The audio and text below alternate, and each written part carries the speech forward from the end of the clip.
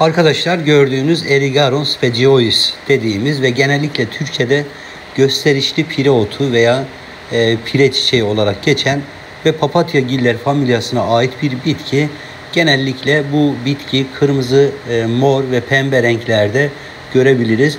Gösterişli çiçekleri nedeniyle peyzaj e, mimarlığında ve ve yine bahçe süslemesinde kullanılır. Bitki genellikle 30 ile 90 santimetre kadar boylanabilir. Yapraklar mızrak şeklinde olur. Alt yapraklar daha büyük ve genellikle dişlidir. Bu şekilde ayırt edebiliriz.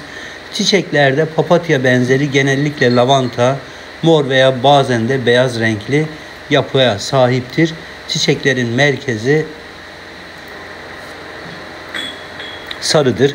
Arkadaşlar yetiştirilmesi oldukça kolay.